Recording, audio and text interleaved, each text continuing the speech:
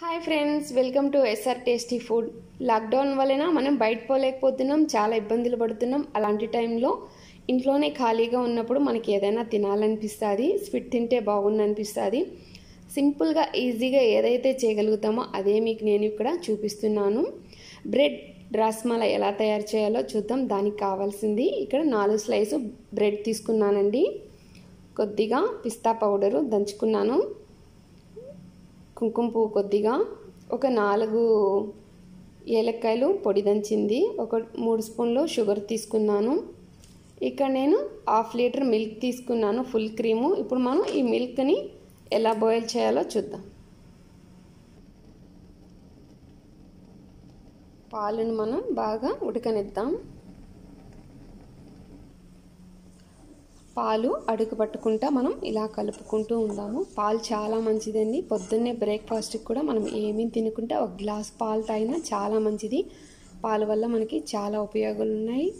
చాలామంది నిద్ర రాలేదనేసి చాలామంది బాధపడుతూ ఉంటారు అలాంటప్పుడు. పనుకునేటప్పుడు ఒక గ్లాస్ పాలు తాగేసి పనుకుంటే కూడా చాలా బాగా నిద్ర వస్తుంది. ఒకసారి ట్రై చేయండి.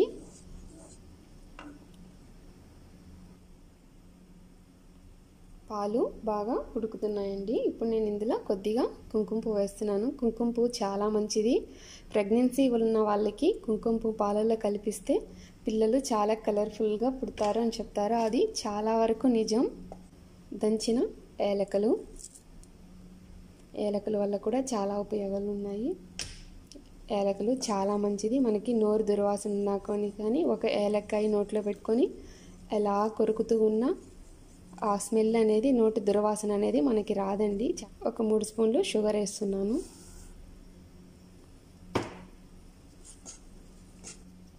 మనకి ఇక్కడ పాలు బాగా ఉడికి బాగా చిక్కగా వచ్చేసింది. ఇప్పుడు దీన్ని మనం పక్కన పెట్టి నెక్స్ట్ ఏం చేయాలో చూద్దాం. నేను నేను ఇక్కడ ప్లేట్లో ఒక బ్రెడ్ తీసుకున్నాను. మనం ఇప్పుడు ఈ బ్రెడ్ని ఇలా మనం స్లైడ్ చేసుకోవాలి. చూసారా? ఇలా మనం కట్ చేసుకోవాలి. ఇప్పుడు మనం దీన్ని కొద్దిగా బటర్లో ఫ్రై చేద్దాం. నేను ఇక్కడ కొద్దిగా పాన్లో బటర్ తీసుకున్నాను.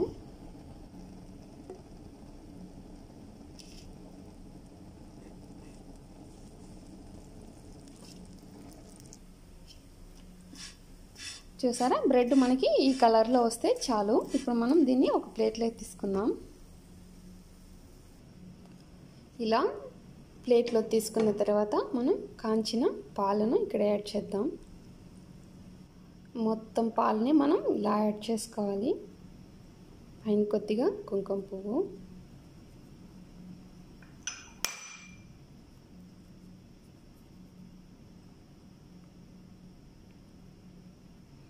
కొద్దిగా దంచిన పిస్తా పౌడరు.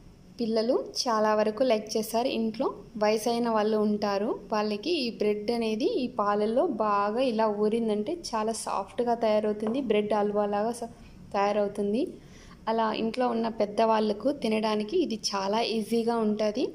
ఇలా ఒక పది ఇరవై నిమిషాలు ఇలా పక్కన మూత పెట్టి పక్కన పెట్టేసామంటే పాలంతా బ్రెడ్లో మనకి బాగా ఇంకిపోతుంది. తినడానికి చాలా చాలా టేస్టీగా ఉంటుంది. చూసారా? నా వీడియోలు నచ్చినట్టయితే లైక్ చేయండి షేర్ చేయండి. నా యూట్యూబ్ ఛానల్ని సబ్స్క్రైబ్ చేసుకోవడం మర్చిపోకండి. అలాగే పక్కనే ఉన్న బెల్ ఐకాన్ని ప్రెస్ చేయడం మర్చిపోకండి.